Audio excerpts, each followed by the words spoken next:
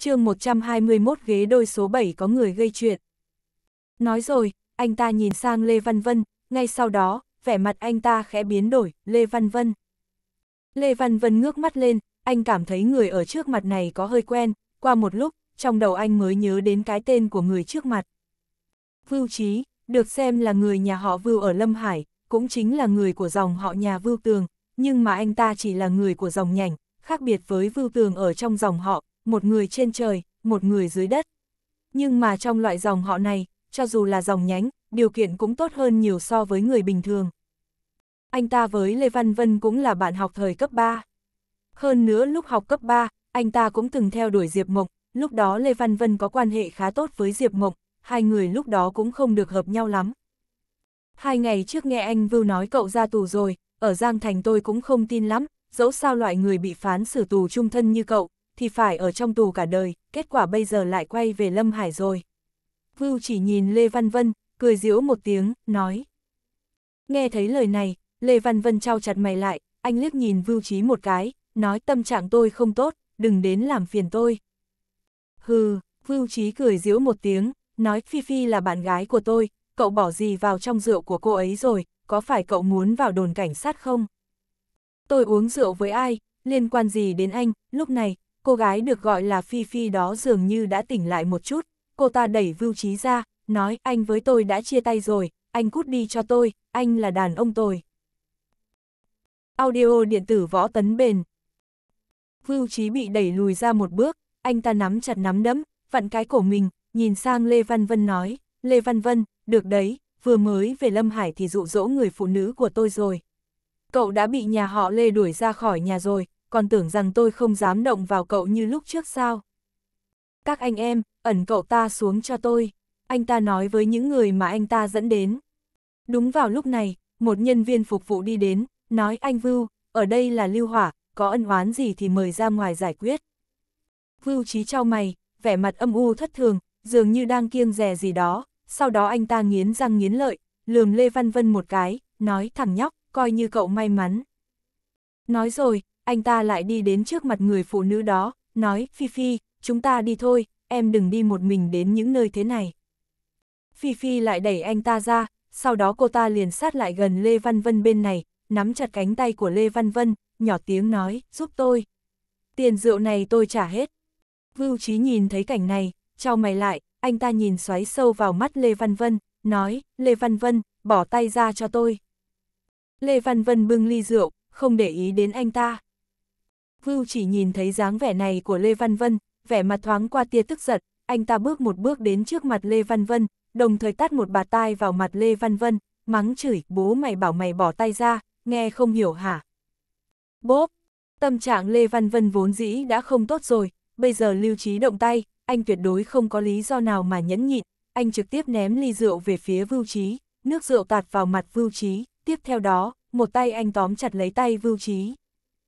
Lúc này, nhân viên phục vụ lại xuất hiện, anh ta dường như đã gặp nhiều cảnh tượng như thế rồi, nhìn Lê Văn Vân nói, thưa anh, ở đây là lưu hỏa, muốn động tay thì mời ra ngoài. Lê Văn Vân trao mày, liếc nhìn người nhân viên phục vụ một cái, nói, là cậu ta ra tay trước, tôi không thể tự vệ. Nhưng mà ở đây là quán ba lưu hỏa, tôi không quan tâm anh có phải tự vệ hay không, chỉ cần động tay, người động tay sẽ có hậu quả, nhân viên phục vụ bình tĩnh nói, trong giọng điệu toàn là sự uy hiếp. Ồ, Lê Văn Vân lạnh nhạt nói. Khóe mỗi nhân viên phục vụ lộ ra một nụ cười, ở trong quán ba lưu hỏa không có ai dám động tay động chân. Thế nhưng anh ta vừa mới nói xong, con người anh ta khẽ co rút lại. Anh ta phát hiện Lê Văn Vân đang ngồi đó, thoát ra khỏi người phụ nữ váy đen, rồi cả người anh đột nhiên đứng phát dậy, thả cái tay đang tóm lấy Vưu Trí ra, đồng thời tát một bà tai vào mặt Vưu Trí, nói cút đi. Vưu Trí cảm giác cơn đau nóng rát trên mặt, anh ta bị đánh đến cả người lùi ra sau mấy bước, những người mà anh ta dẫn đến vội vàng đón lấy anh ta. Vưu Trí ôm mặt, trừng mắt nhìn Lê Văn Vân, nói, mẹ nó, mày dám đánh tao. Tao thấy mày thật sự không muốn sống nữa rồi. Ở bên cạnh, người nhân viên phục vụ đó cũng lạnh lùng nhìn Lê Văn Vân nói, thưa anh, tôi nhớ là lúc nấy tôi vừa mới nhắc nhở anh, động tay sẽ có hậu quả, đúng không? Lê Văn Vân lườm anh ta một cái, nói cậu ta động tay trước, tôi trả lại cho cậu ta một tát tai, chỉ thế mà thôi. Nhân viên phục vụ cười giễu một tiếng, móc bộ đàm ra rồi nói, ghế đôi số 7 có người gây chuyện. Bịch, bịch, bịch, lời vừa dứt, rất nhanh có một tràn âm thanh vang dội lên, mười mấy người bỗng chốc tuôn ra đi đến phía anh ta, đồng thời, động tĩnh bên này của họ đã thu hút sự chú ý của rất nhiều người. Ôi, đây không phải là anh trí của chúng ta sao? Chạy đến lưu hỏa gây chuyện rồi, có phải tưởng rằng có vưu tường chống lưng cho anh, thì có thể làm loạn trước mặt tôi rồi à?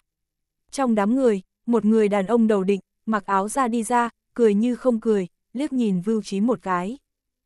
chương 122 coi như là có tình có nghĩa. Trong quán bar, lúc này, rất nhiều người đều đang dương mắt nhìn về phía nhóm người Lê Văn Vân bên này.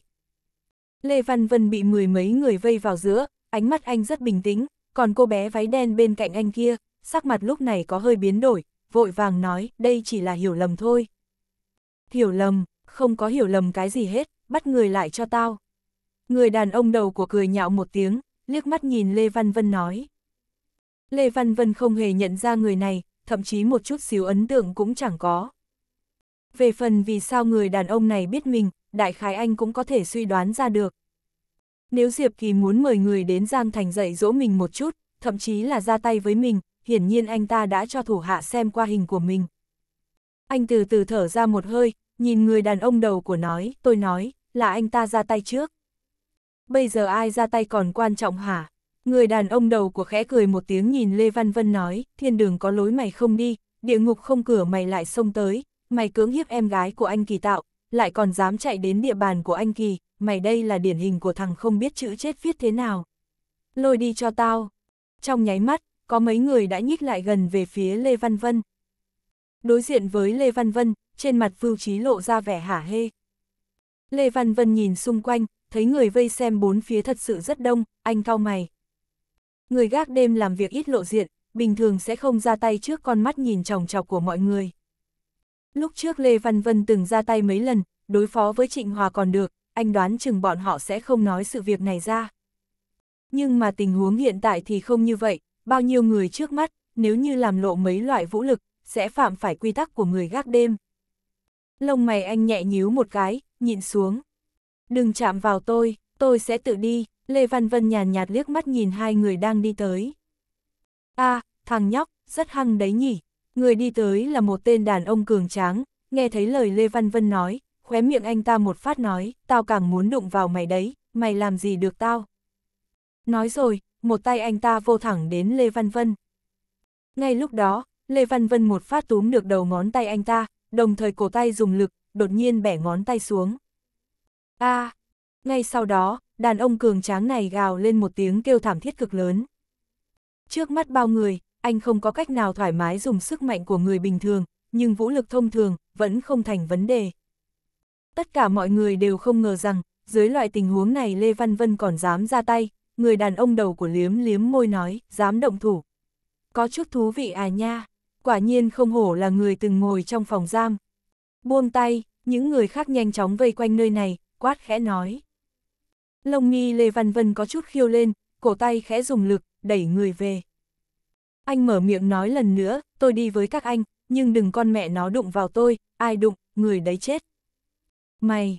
Một đám người kia thấy Lê Văn Vân đối mặt với bọn họ mà còn dám nói như vậy, hiển nhiên là không phục. Ngay lúc này, người đàn ông đầu của khoát tay áo nói, thể để tự nó đi, đến chỗ nào không có người, tạo mới vui đùa với nó thật tốt một chút. chương 123 chỉ sợ không đủ thôi. Nhưng Mỹ nữ váy đen căn bản không thèm để ý tới anh ta. Cô ta biết rõ, sự tình trung quy là do anh ta mà ra, cô hy vọng chờ ở cửa, nếu như chờ một lúc Lê Văn Vân thật sự bị thương rất nặng, cô có thể đưa Lê Văn Vân đến bệnh viện.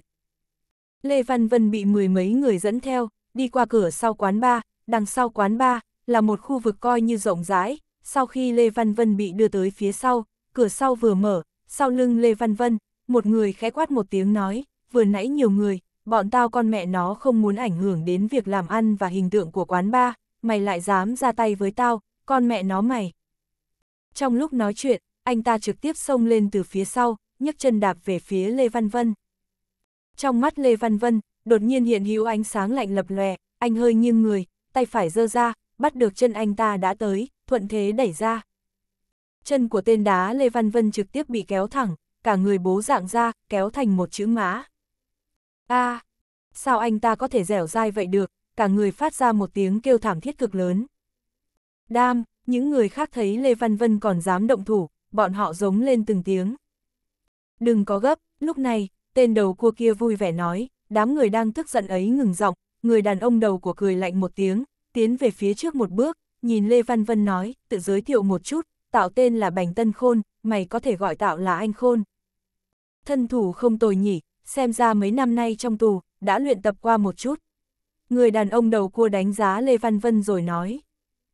Lê Văn Vân đứng bên cạnh, bình tĩnh nhìn người đàn ông đầu cua, không trả lời anh ta, mà mở miệng nói anh nhất định phải động thú với tôi vậy à? Không thì sao đây, người đàn ông đầu của mỉm cười hỏi lại. Lê Văn Vân quét qua tất cả mọi người, nhún vai nói, cũng được, đúng lúc tâm trạng tôi không trôi chảy lắm, đánh một chầu chắc là sẽ vui lên, chẳng qua là. Bây giờ anh chỉ có 13 người, chỉ sợ không đủ thôi. Bạch Tân Khôn nhìn Lê Văn Vân, con mắt hơi híp lại, sau đó anh ta đốt một điếu thuốc, cả người hơi lùi về đằng sau mấy bước, rồi phất tay về phía trước nói, đánh đi, đừng đánh chết, còn nhận ra nó là được, anh Kỳ chắc đang trên đường tới rồi. Mười mấy người kia nhe răng cười một tiếng. Lê Văn Vân thở ra một hơi, cũng cười với bọn họ. Động thủ. Ngay sau đó, có người khẽ quát một tiếng, trong tích tắc, đã có tên xông lên muốn ôm lấy Lê Văn Vân. Phía sau, Bạch Tân Khôn ngậm một điếu thuốc, hai tay đút trong túi quần, dáng vẻ xem trò hề. Trước mặt anh ta, 13 người vây quanh Lê Văn Vân, anh ta chỉ thấy đám người nhốn nháo, không nhìn rõ cảnh tượng trong đó lắm. Chỉ nghe thấy tiếng kêu thảm thiết thỉnh thoảng lại cất lên. a à, mà ở giữa, đối mặt với mười mấy người, Lê Văn Vân như con cá chạch trơn trượt, mười mấy người này, muốn đụng vào anh cơ hồ là hoàn toàn không có khả năng. Âm, um, chương 124 cả người bại liệt trên mặt đất. Lê Văn Vân phủi tay, nhìn về phía Bạch Tân Khôn nói, tôi nói rồi, những người này không đủ, đúng. Không. Bạch Tân Khôn nuốt nuốt bọt, còn người hơi co lại, khiếp sợ nhìn Lê Văn Vân, sau đó dùng giọng run rẩy mà hỏi, sao mà? Làm sao có thể? Một trọi mười, cái này là con mẹ nó đang đóng phim à? Lúc này, anh ta chợt thấy, Lê Văn Vân phía trước mặt, đang nở nụ cười đi về phía anh ta. Bạch Tân Khôn bảo kê trong quán ba lưu hỏa, đủ để chứng minh anh ta xem như là một người kiến thức sâu rộng. Anh ta từng thấy một vài người có thể một đánh hai đánh ba, thế nhưng loại người đánh mười mấy người này, vẫn là lần đầu tiên anh ta gặp phải. Hơn nữa mấu chốt nhất chính là, thời gian quá mau. Nhìn mười mấy người nằm dưới đất, cùng với tên đang dạng thẳng chân ngồi bổ xiên dưới đất đằng trước kia, trên trán bạch tân khôn, mồ hôi lạnh bắt đầu tuôn ra. Lê Văn Vân, mày nghĩ cho kỹ, ở đây mẹ nó là quán ba lưu hỏa, bản thân anh kỳ vô cùng bất mãn với mày, mày còn dám động thủ. Chuyện này chắc chắn không thể để yên, dù là khi mà còn ở nhà họ Lê, mày cũng không trêu nổi anh Kỳ, chứ đừng nói nói tới bây giờ mày không còn ở nhà họ Lê nữa. Bạch Tân Khôn xoa xoa mồ hôi trên trán.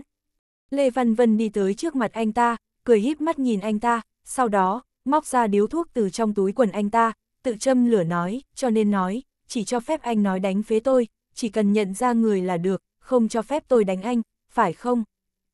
Nghe vậy, ra đầu Bạch Tân Khôn có hơi tê dại.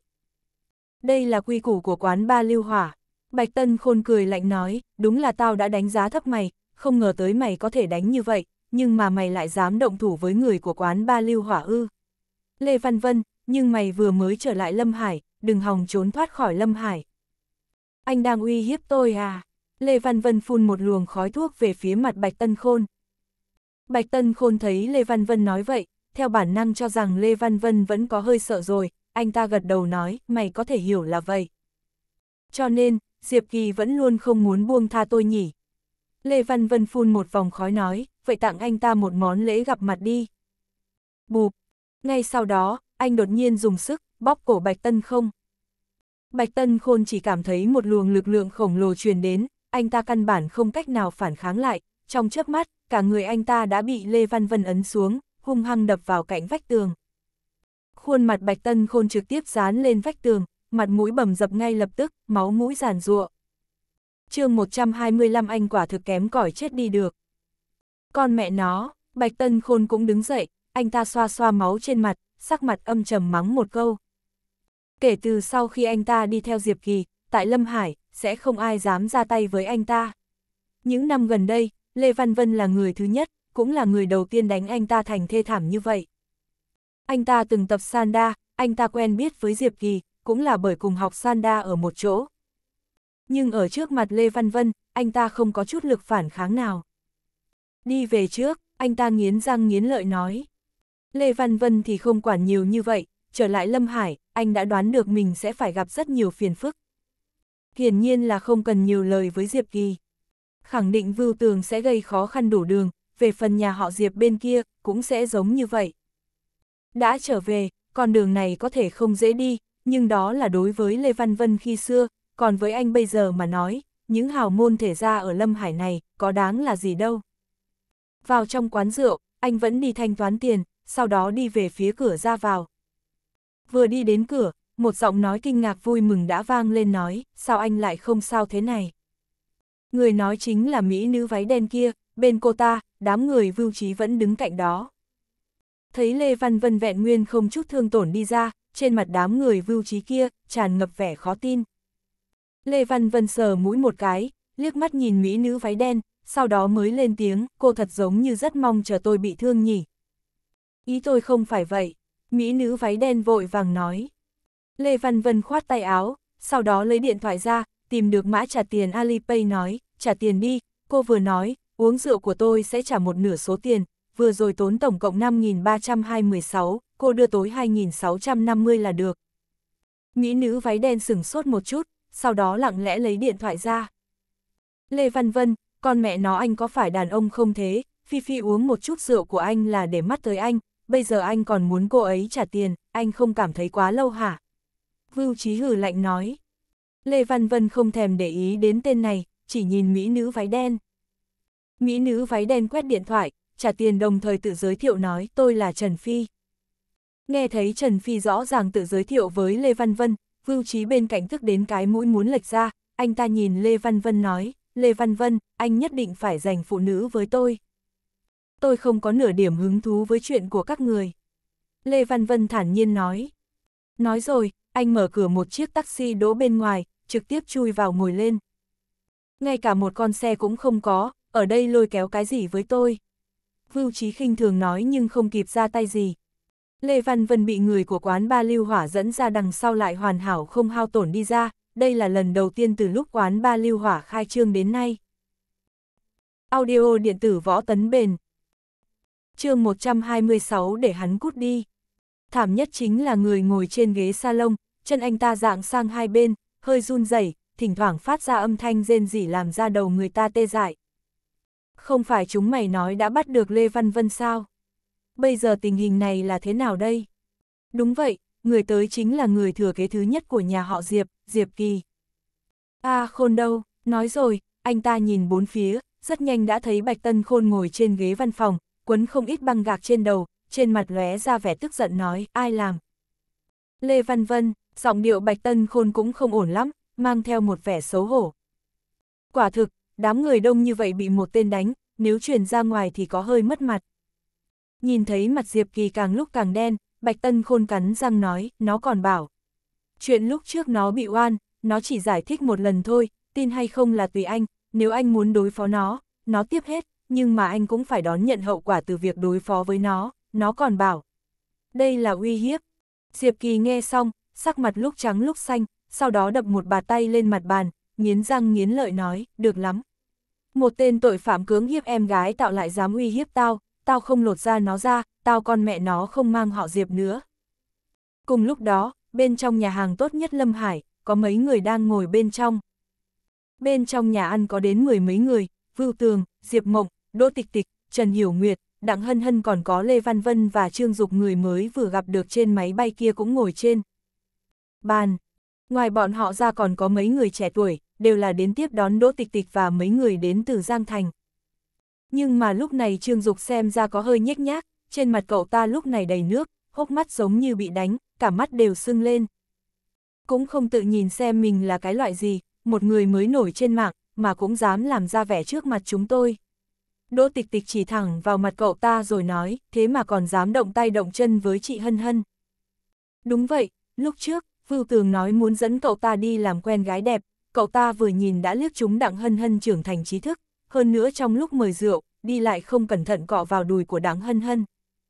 Chuyện này bị Trần Hiểu Nguyệt biết được, với tính cách của Trần Hiểu Nguyệt, làm sao có thể nhịn được, đầu càng nóng, ngay lập tức động thủ với Trương Dục. Trương Dục ăn một đấm, đến khi Đỗ Tịch Tịch biết được, lại hất một ly trà vào mặt cậu ta.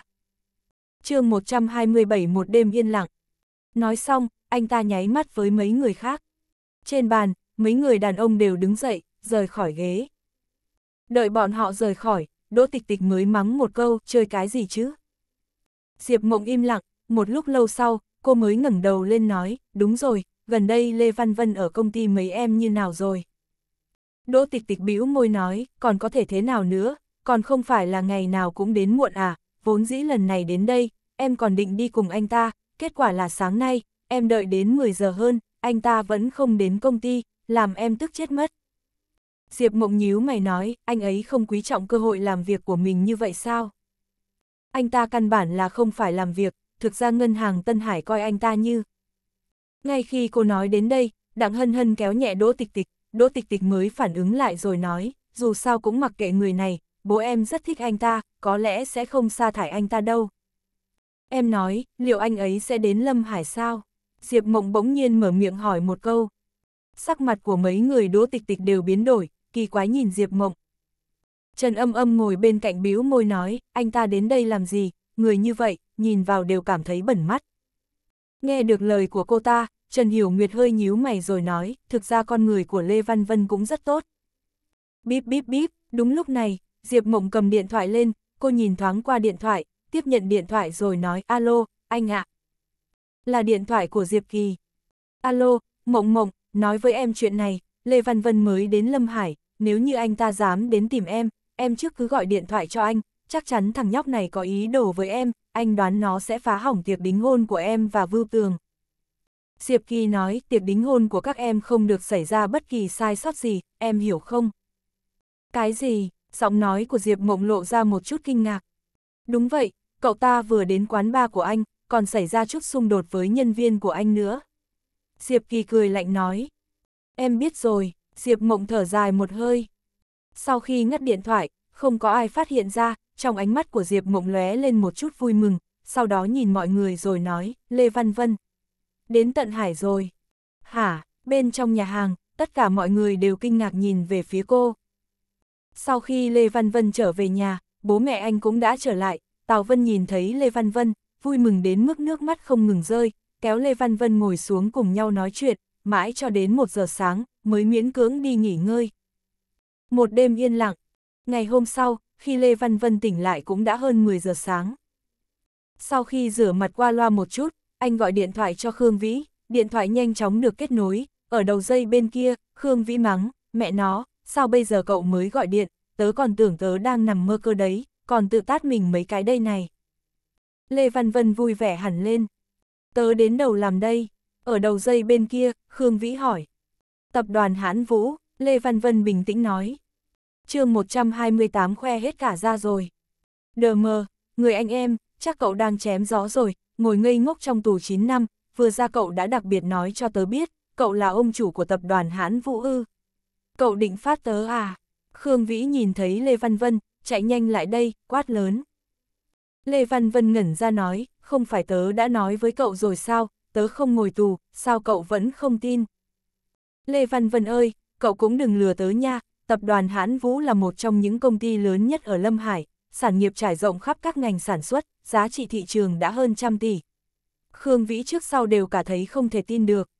Ôi chao, yên tâm đi, bắt đầu từ ngày hôm nay, cậu sẽ được làm việc ở đây, nhìn thấy tòa văn phòng này không?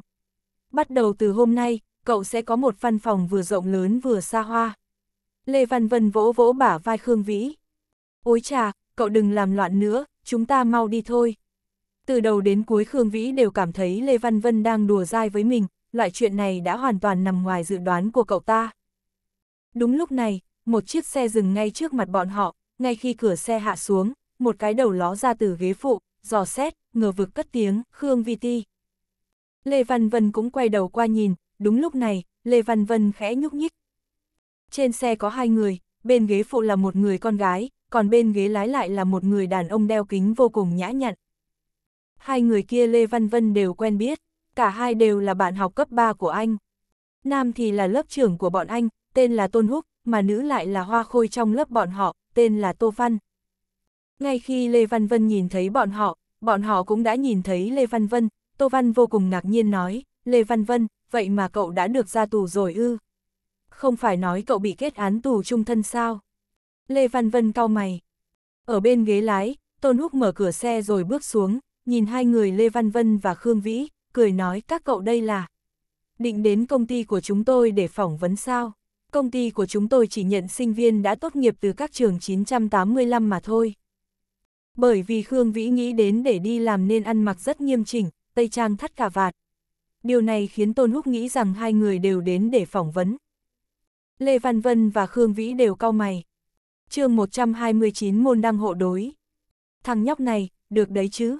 Khương Vĩ đấm nhẹ một cái vào ngực Tôn Húc, mở miệng nói, lớp chúng ta có hai bông hoa, vậy mà một bông lại bị cậu ngắt được rồi. Trong lớp cấp 3 của bọn họ, có hai đóa hoa, vừa là hoa khôi của lớp cũng vừa là hoa khôi của trường, một đóa là Tô Văn, mà người còn lại chính là Diệp Mộng. Tôn Húc cau mày, xoa xoa chỗ bị Khương Vĩ đấm vào, sau đó nhìn Lê Văn Vân và Khương Vĩ rồi nói, lần phỏng vấn này phải cố lên nhé, tôi sẽ đi đánh tiếng một chút, để ban giám khảo chú ý cậu một chút, nếu như có thể vào được công ty của chúng tôi, chỉ cần qua được phần thử việc, chắc chắn tiền lương so với những công việc cậu từng làm trước kia đều cao hơn, đương nhiên, nếu muốn đạt được vị trí như tôi, vẫn cần phải xem năng lực đến đâu. Trong xe, Tô Văn dường như đang nghĩ ngợi gì đó, nhìn về phía Lê Văn Vân rồi nói, Diệp Mộng phải đính hôn, cậu có biết không? Khương Vĩ sừng sốt, cũng ngạc nhiên nhìn về phía Lê Văn Vân. Thời cấp 3, bởi vì hai người Lê Văn Vân và Diệp Mộng đều vô cùng thân thiết, nên có rất nhiều người đều cảm thấy đến cuối cùng bọn họ sẽ về bên nhau. Lê Văn Vân còn chưa kịp trả lời, Tô Văn đã nói tiếp, cũng phải, cậu mới ra tù, hẳn là cũng không biết. Đính hôn cùng cậu lớn nhà họ Vưu, đúng là trai tài gái sắc, môn đăng hộ đối. Tôn Húc cũng gật đầu, quả thực không ngờ hai đóa hoa của lớp chúng ta, một bông hoa khác lại bị người ta ngắt mất, đúng rồi, lễ đính hôn của bọn họ tổ chức ở Châu Lục, nhà Mộng Diệp cũng mời không ít bạn học thời cấp 3, phải khoảng hơn 20 người đều đến, Diệp Mộng cũng sẽ tự mình ra mặt, chúng tôi định tụ họp ở Vưu Lục, là do tôi đứng ra tổ chức, ngay tại nhà hàng Chúng Nguyệt, lúc đó hai cậu cũng đến đi. Khương Vĩ và Lê Văn Vân lại đồng loạt nhíu mày. Tôn Húc cười nói, yên tâm đi, mọi người cũng sẽ không để ý hai người khó hòa nhập đâu, đều là bạn học cũ cả, hơn nữa nhỡ như hôm nay Khương Vĩ không qua vòng phỏng vấn, không chừng ở bên kia uống với bạn học cũ một hai chén, giao tiếp tốt, người ta lại trực tiếp giới thiệu cho các cậu một hai công việc ấy chứ. Đi chứ, đến lúc đó chúng tôi đi là được, cũng nhiều năm rồi tôi chưa gặp bọn họ, Lê Văn Vân sờ sờ mũi rồi nói.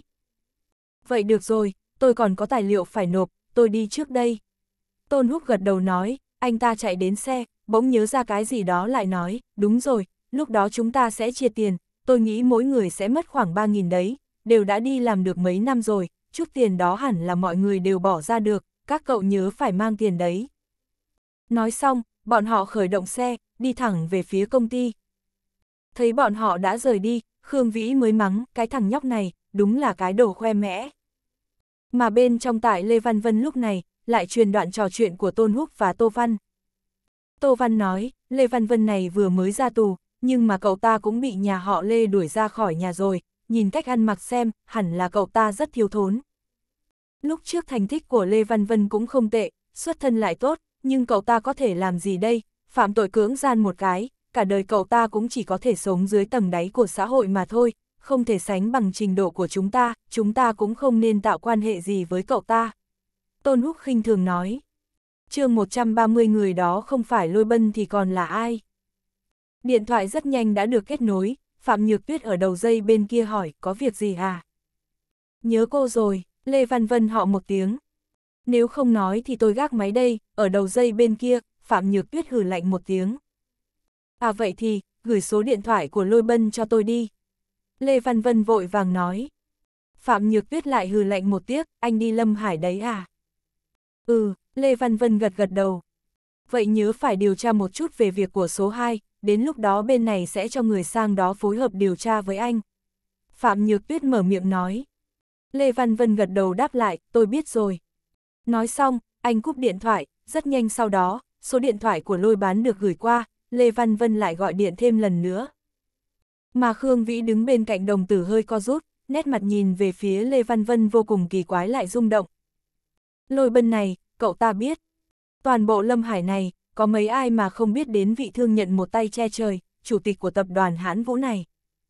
Cùng lúc đó, trong lòng cậu ta cũng hơi trùng xuống, nếu Lê Văn Vân thực sự quen biết lôi bân, cần gì đi xin người khác số điện thoại của ông ta.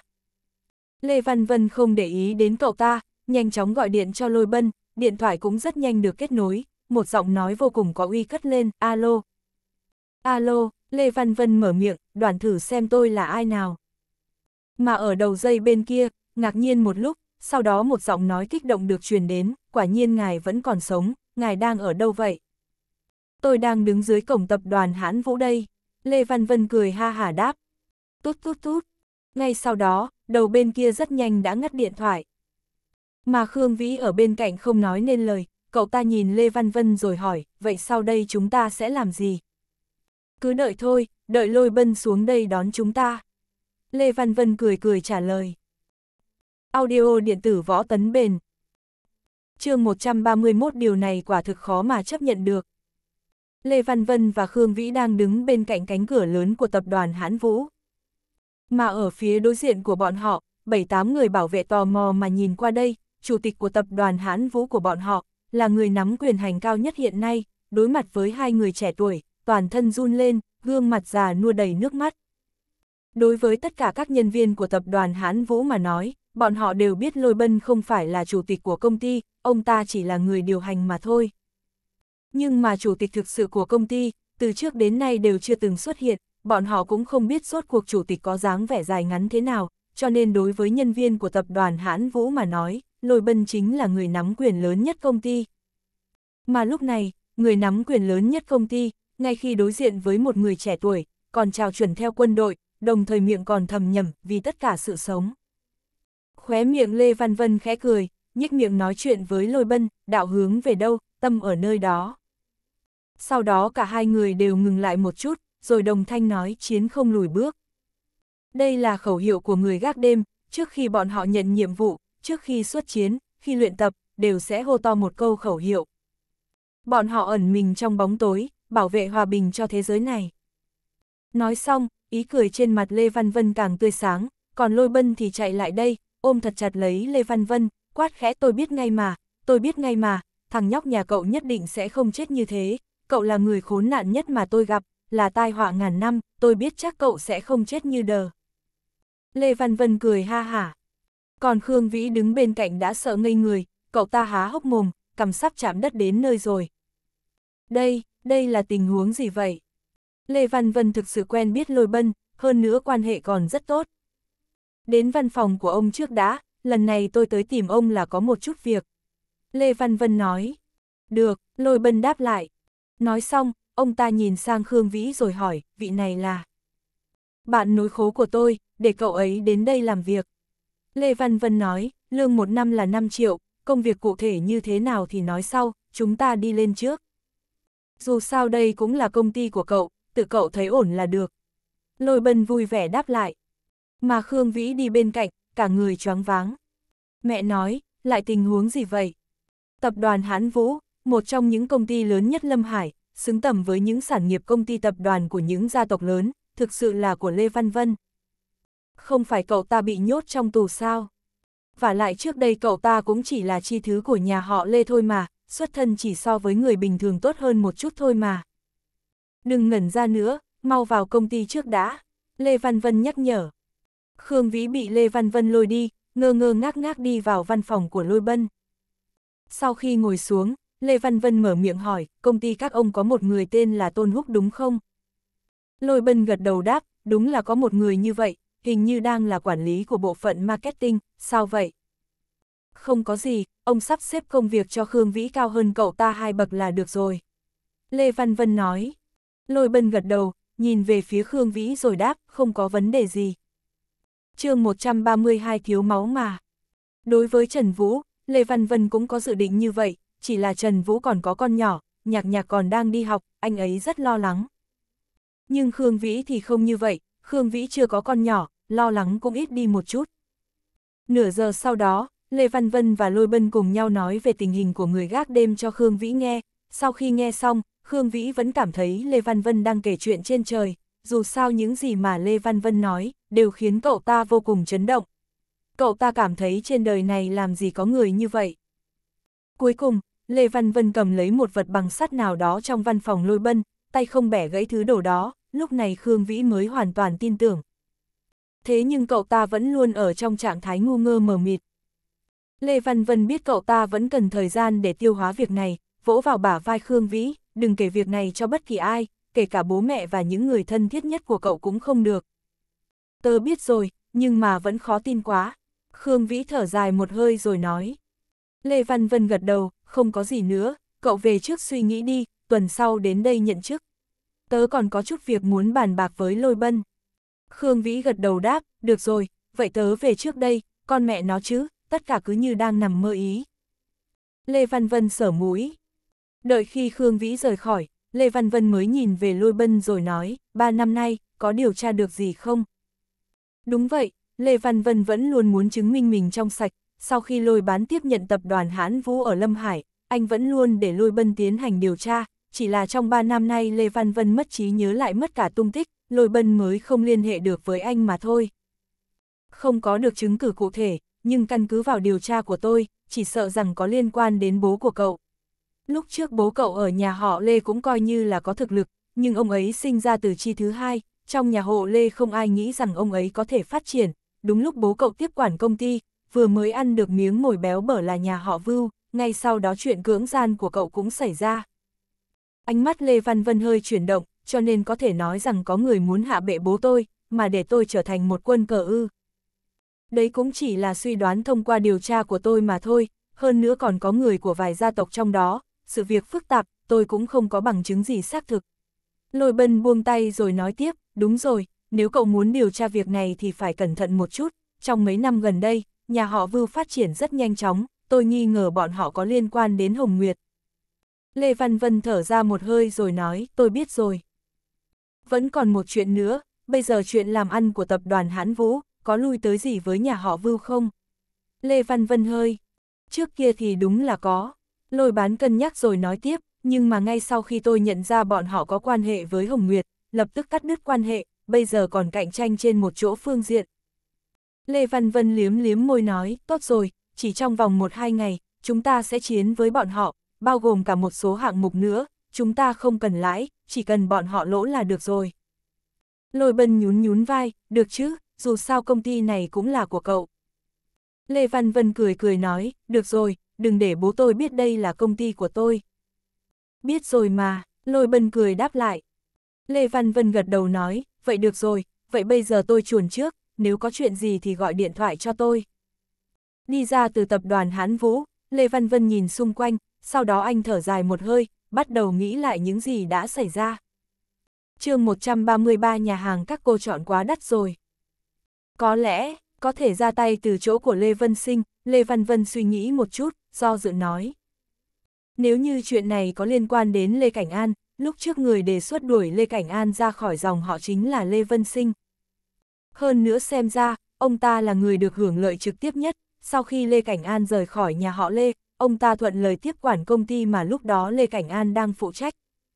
Nhưng Lê Văn Vân hiểu rõ, Lê Vân Sinh không có năng lực như vậy, ông ta có lẽ chỉ là một quân cờ, mà lần theo con cờ này đương nhiên có thể tìm ra được rất nhiều thứ. Nghĩ đến đây, Lê Văn Vân sờ mũi, đúng vào lúc này, điện thoại trong tay anh đột nhiên vang lên, Lê Văn Vân cầm điện thoại lên vừa nhìn đã phát hiện là Đỗ Tịch Tịch gọi đến. Alo, Lê Văn Vân nhận điện thoại xong nói. Được lắm, Lê Văn Vân, anh quá nhàm chán rồi. Đầu bên kia điện thoại, giọng nói của Đỗ Tịch Tịch truyền đến, anh lặng lẽ đến Lâm Hải mà không báo cho tôi một tiếng nhé. Tôi là cấp trên của anh đấy, anh còn muốn đi làm nữa không vậy? Rõ ràng, Đỗ Tịch Tịch vẫn chưa biết thông tin Lê Văn Vân đã từ chức. Anh vừa định nói chuyện, Đỗ Tịch Tịch đã cười hắc hắc nói tôi, chị Hân Hân, còn có Hiểu Nguyệt đang ở cùng nhau, anh không định đến gặp mặt chúng tôi, mời chúng tôi bữa cơm sao? Được thôi, Lê Văn Vân nói, các cô chọn một nhà hàng nào đó đi, tôi sẽ qua đó tìm các cô. Được rồi, tôi chọn được chỗ rồi gửi địa chỉ qua WeChat cho anh. Đỗ Tịch Tịch mỉm cười nói. Sau khi cúp điện thoại, rất nhanh Đỗ Tịch Tịch đã gửi địa điểm nhà hàng qua, Lê Văn Vân chặn một chiếc taxi, vội vàng đi đến điểm hẹn. Sau khi đến nơi, anh bước vào trong nhà hàng, nhìn thấy ba người Đỗ Tịch Tịch, Đặng Hân Hân, Trần Hiểu Nguyệt, sau khi thấy Lê Văn Vân đã tới, Đỗ Tịch Tịch chừng mắt nhìn anh nói, sao anh lại chạy đến Lâm Hải vậy? Có chút chuyện, Lê Văn Vân mỉm cười nói, nhà hàng các cô chọn quá đắt rồi. Không đắt sao tôi có thể ăn ngon miệng được chứ, người giàu có như anh có cả thẻ kim cương của ngân hàng Tân Hải cơ mà. Đỗ tịch tịch chừng mắt nhìn Lê Văn Vân, sau đó cầm lấy thực đơn. Bên cạnh, Trần Hiểu Nguyệt và Đặng Hân Hân đều mỉm cười, sau đó chào hỏi với Lê Văn Vân. Lê Văn Vân bắt đắc dĩ ngồi xuống, nhìn Đỗ Tịch Tịch đang gọi món nói, ừm thế này, Đỗ Tịch Tịch, thực ra tôi đã từ chức rồi. Đỗ Tịch Tịch hơi sừng sốt một chút, cô ấy ngẩng đầu lên nhìn Lê Văn Vân, nhíu mày hỏi, từ trước lúc nào, sao bố tôi không nói cho tôi biết chứ? chương 134 không có hứng thú. Đỗ tịch tịch nghĩ tới chuyện hôm qua Trương Dục sờ mó chân của Đặng Hân Hân thì khuôn mặt lại lóe lên vẻ khó chịu. Lê Văn Vân nhíu mày hỏi, có người động tay động chân với giám đốc Đặng. Trần Hiểu Nguyệt gật đầu nói, ừm, một người làm livestream trên mạng rất nổi tiếng, tên là Trương Dục. Nghe thấy cái tên này, Lê Văn Vân sướng sờ hỏi, có phải là người đàn ông có phong cách thời trang như con gái không? Đúng vậy, chính là người đó, livestream bán hàng trên mạng, bán các loại. Mỹ phẩm đấy, hình như có không ít fan nữ đấy, mấy cô gái nhỏ bây giờ đúng thật là não tàn. Đỗ tịch tịch mắng nói, nếu như ở Giang Thành, tôi đã trực tiếp cho anh ta một cái bạt tai rồi. Anh quen anh ta sao? Đặng hân hân hỏi. Lúc đến Lâm Hải, anh ta ngồi bên cạnh tôi. Lê Văn Vân nói. Dù sao cũng thật là ghê tởm, chị Diệp mộng gả cho Vưu Tường.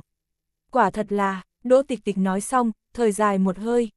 Lê Văn Vân sờ mũi, không nói gì.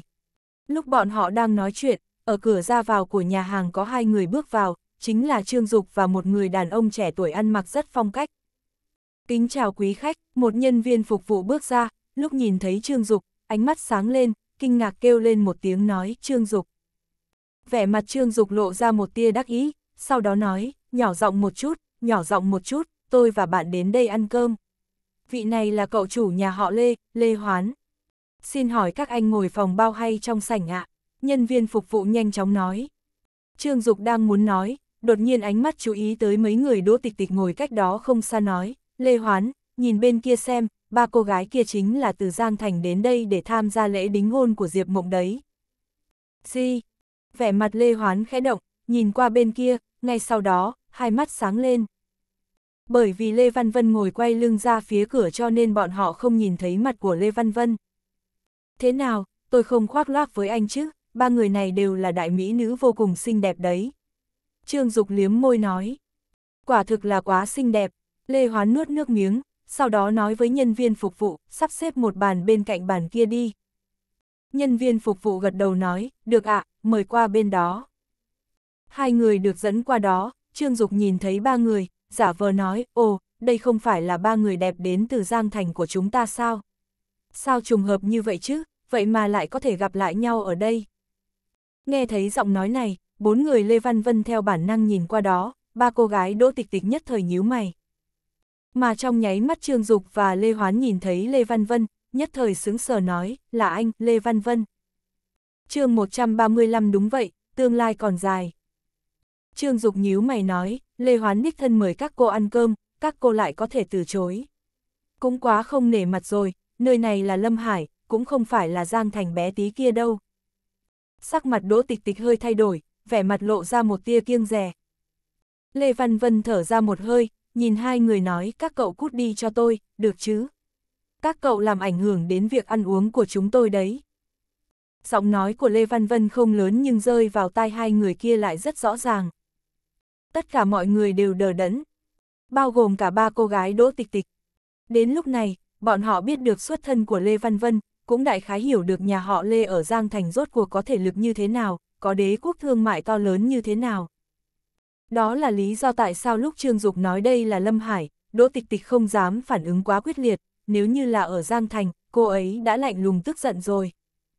Nhưng bây giờ đang ở đây, cô ấy quả thực không dám, bởi vì nếu nhà họ Lê muốn chĩa mũi nhọn vào tập đoàn Cường Thịnh, quả thực rất đơn giản. Bọn họ tuyệt đối không ngờ tới, Lê Văn Vân lại tức giận, hơn nữa thái độ cũng vô cùng cứng rắn. Điều này cũng khiến cho Trương Dục lần đầu tiên quên phải nói chuyện, chỉ là ngây người nhìn Lê Văn Vân. Ngược lại Lê Hoán là người đầu tiên phản ứng lại, ánh mắt anh ta hơi nheo lại, ngay sau đó, trên mặt anh ta lộ ra một nụ cười như không cười, nhìn Lê Văn Vân nói anh đang nói chuyện với tôi sao? 9 năm trước, anh không xem tôi ra gì, bây giờ ngồi tù 9 năm rồi lại dám nói chuyện như vậy sao? Có phải anh đi ra ngoài rồi thấy bố mình bây giờ là phó tổng giám đốc tập đoàn Hãn Vũ liền cảm thấy rất ghê gớm đúng không?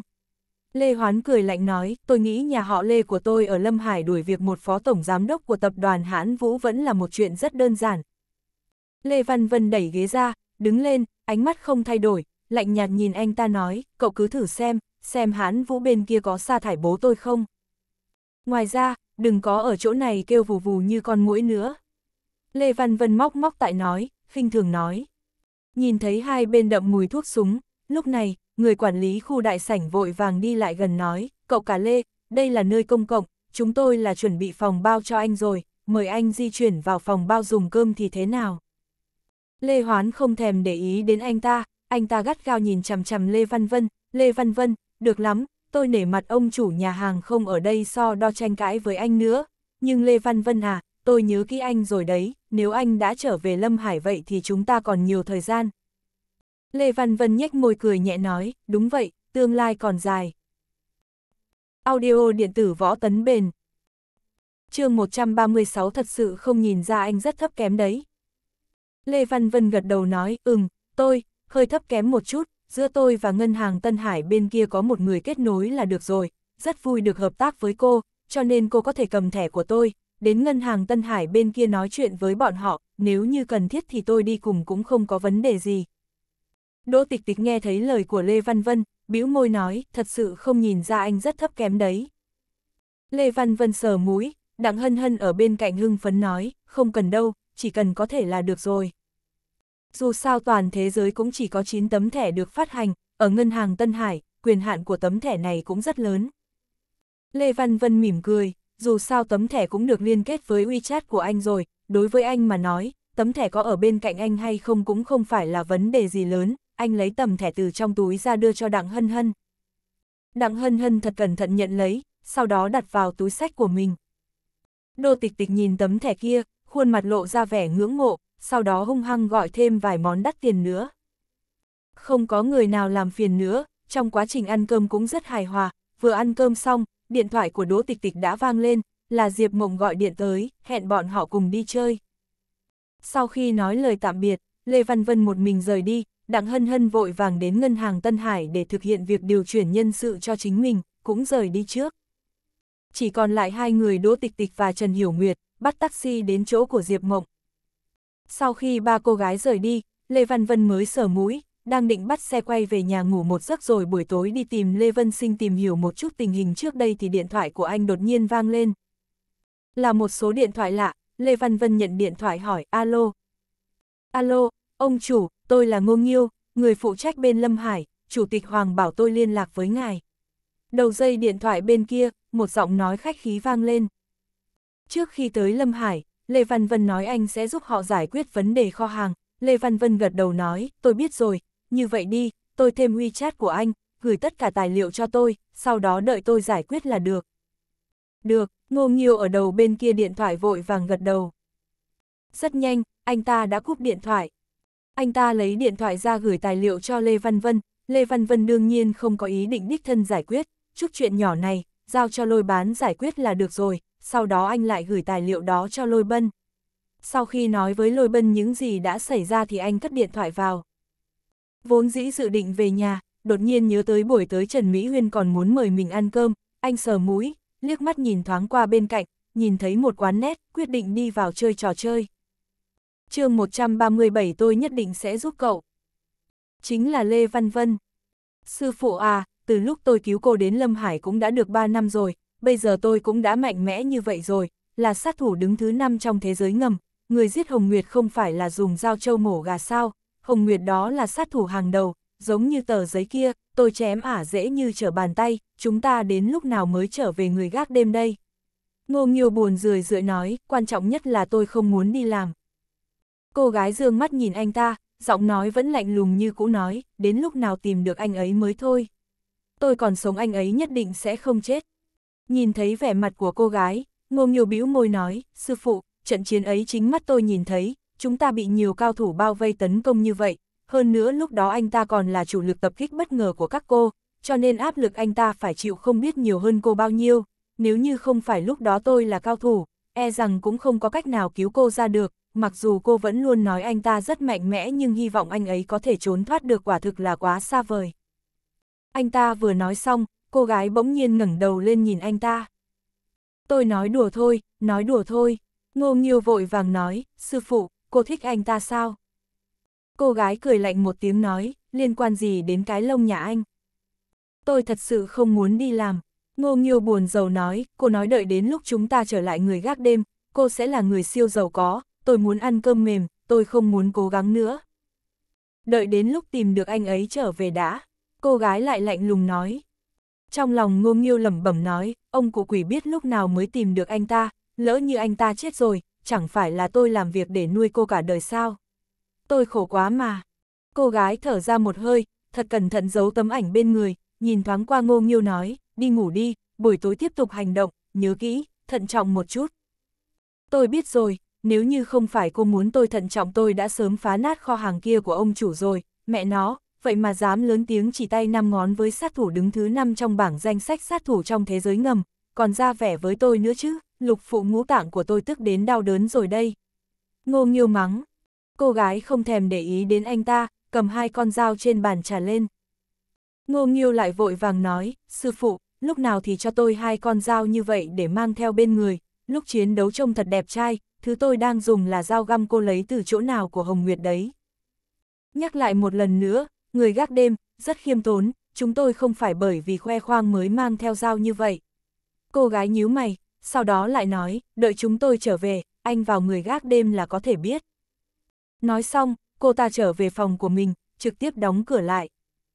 Mà ở bên kia, Lê Văn Vân cả buổi chiều ở trong quán nét chơi trò chơi, đến gần 4 giờ, Trần Mỹ Huyên mới gọi điện thoại tới, Lê Văn Vân nhận máy nói, alo.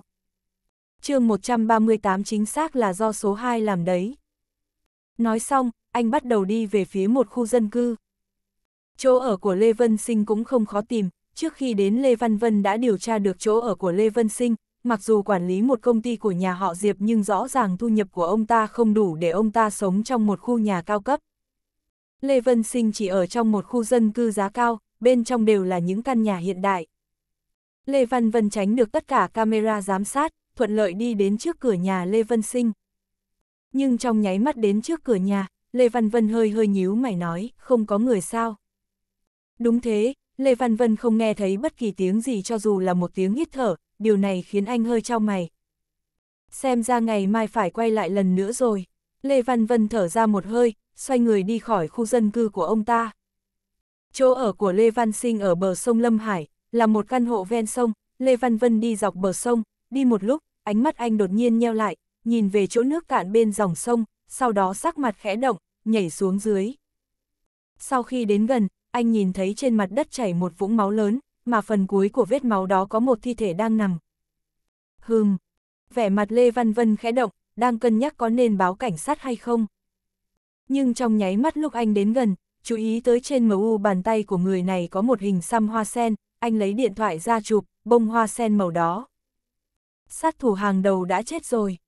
Lê Văn Vân cúi đầu, ngay sau đó, trên mặt chợt lóe lên một tia vui vẻ, trong lòng vui mừng khôn xiết nói, quả nhiên là thủ pháp của số 2. Đúng vậy, số 2, là bạn chiến đấu thân thiết nhất của Lê Văn Vân ở người gác đêm, bạn tốt nhất, có thể xem là đồng đội sau lưng anh. Từ lúc biết được cô ấy vẫn còn sống, trong lòng Lê Văn Văn vô cùng vui vẻ, mãi đến lúc này anh mới tự mình khẳng định được, trong lòng vui mừng khôn xiết, không gì có thể diễn tả được. Sau khi xác nhận được, anh thở ra một hơi, lấy điện thoại ra, tìm đến số của Phạm Nhược Tuyết, gọi cho cô. Điện thoại rất nhanh được nhận, giọng nói có chút lười biếng của Phạm Nhược Tuyết vang lên, alo, lại làm sao thế? Tôi phát hiện ra số 2 rồi, Lê Văn Vân vội vàng nói. Cái gì? Giọng nói Phạm Nhược Tuyết mang theo tia kích động hỏi, thật sao? Cô ấy bây giờ đang ở đâu? Chưa gặp được người, nhưng tôi nhìn thấy một thi thể hồng nguyệt, chính xác là do số 2 làm đấy. Lê Văn Vân thở vào một hơi nói. Lần trước chúng ta phát hiện hai thi thể, tôi cũng đã nhìn thấy mặc dù thủ pháp rất giống với số 2 nhưng độ cháy kém hơn rất nhiều. Anh chắc chắn thi thể bây giờ anh phát hiện ra là do cô ấy làm chứ? Phạm Nhược Tuyết hỏi lại lần nữa. Chắc chắc, vô cùng chắc chắn. Lê Văn Vân nghiêm túc nói, tôi gửi vị trí cho cô, cô gọi người bên Lâm Hải đến xử lý thi thể một chút đi. Được rồi, Phạm Nhược Tuyết gật đầu nói, nhất định phải tìm được cô ấy, biết không? chương 139 nhắc Tào Tháo là Tào Tháo tới liền. Lê Văn Vân lúc này mới nhớ ra, anh không có khái niệm thứ mấy trong tuần cả, trước đó Tôn Húc nói họp lớp vào thứ bảy, anh còn cho rằng còn vài ngày nữa, kết quả không ngờ tới là ngày hôm sau luôn rồi. Ờ, tớ biết rồi, nửa tiếng nữa gặp nhau ở cửa nhà hàng nhé. Lê Văn Vân nói. Cúp điện thoại, Lê Văn Vân mới rời giường rửa mặt, sau đó anh phát hiện một chuyện rất phiền não. Trước đó anh đi trung tâm thương mại mua một bộ đồ tương đối ổn, bây giờ đã mặc được hai ngày rồi, sau khi cởi ra sớm đã bị anh mang đi giặt rồi. Không còn cách nào khác, anh tìm được bộ đồ tương đối ổn, sau đó mặc vào và đi ra ngoài. Đến cửa nhà hàng trứng nguyệt, anh nhìn thấy Khương Vĩ mặc một thân tây trang dài da.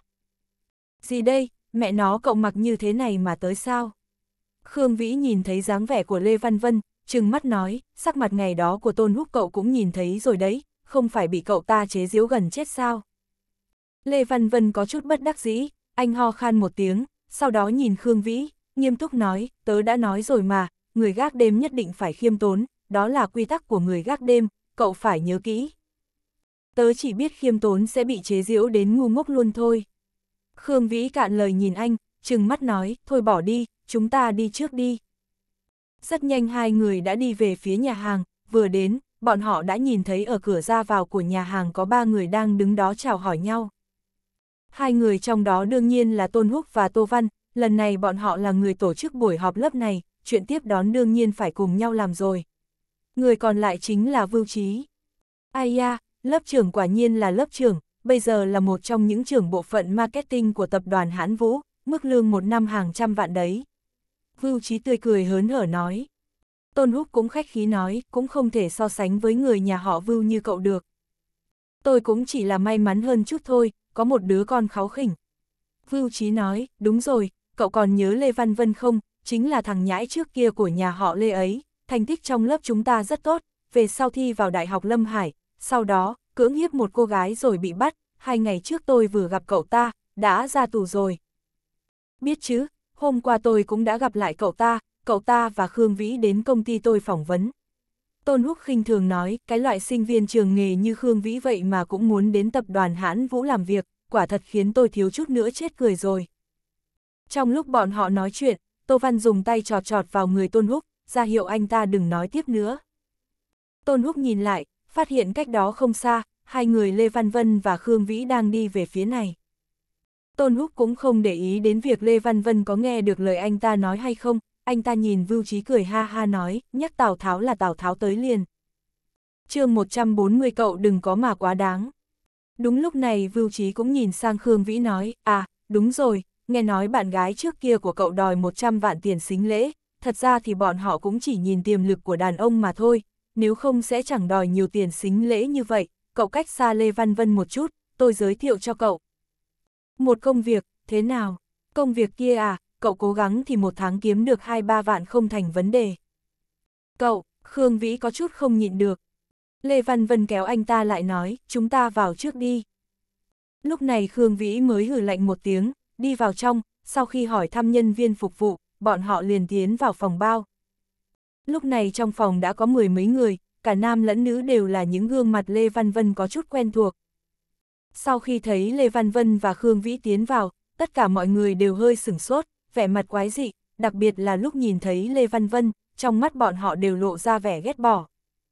Trên thế giới này, loại chuyện như cưỡng bức là tội khiến người ta khinh thường nhất. Bọn họ không chào hỏi, cũng không mời Lê Văn Vân ngồi xuống mà chỉ khinh bỉ nhìn anh. Khi Khương Vĩ còn là học sinh, tính cách rất cởi mở, anh ta chủ động chào hỏi mọi người. Mấy người kia cũng chỉ khách sáo gật đầu với anh nhưng không hề có ý tiếp tục nói chuyện với bọn họ, đoán chừng là nhìn thấy Khương Vĩ đi cùng với Lê Văn Vân nên không muốn tiếp xúc với bọn họ. Khương Vĩ có chút ngại ngùng, trái lại Lê Văn Vân vẫn mang bộ dạng không sao cả, sờ mũi, chọn một bàn ít người ngồi xuống. Trên bàn, sau khi những người khác thấy Lê Văn Vân ngồi xuống thì mang theo vẻ mặt khác nhau, trong đó có một nữ sinh hơi mập nhìn Lê Văn Vân, âm dương quái khí nói, Lê Văn Vân à, tiệc họp lớp của chúng tôi vậy mà cậu cũng tới. Ra mặt cậu cũng được đấy, không sợ ảnh hưởng đến bầu không khí của người khác à. Khương Vĩ nhíu mày nói, Trần Chỉ Mộng, cậu đừng có mà quá đáng. Ha ha, tôi quá đáng cái gì? Trần Chỉ Mộng cười lạnh, vốn dĩ chính là như vậy, Lê Văn Vân là loại người gì mọi người đều biết, lúc đầu tại sao cậu ta phải vào trại giam bọn tôi cũng đều rõ ràng, loại cặn bã này đến đây, tất cả đám con gái bọn tôi đều thấy sợ.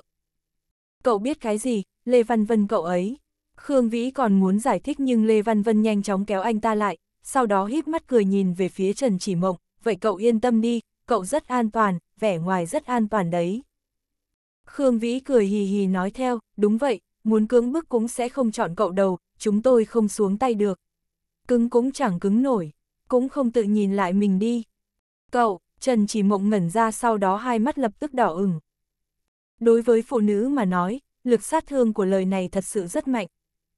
Bên cạnh có một người đàn ông không nhìn nổi nữa, anh ta nhíu mày nói, Khương Vĩ, Lê Văn Vân, đều là bạn học cũ với nhau, lời này của hai người hơi quá đáng rồi đấy. Khương Vĩ vừa định phản bác, đúng lúc này một người đàn ông khác với vàng đứng lên nói, mọi người ít nói vài câu đi, Trần Chỉ Mộng, mấy cậu sang chỗ tôi ngồi đi, tôi sang bên chỗ mấy cậu, hiện tại Lê Văn Vân đã ra tù rồi, mặc dù lúc trước phạm tội thì cũng đã cải tạo rồi, chúng ta cũng không cần có thành kiến với cậu ấy. Lê Văn Vân nhìn về phía anh ta, vẻ ngoài của người kia khá là thành thật chất phác.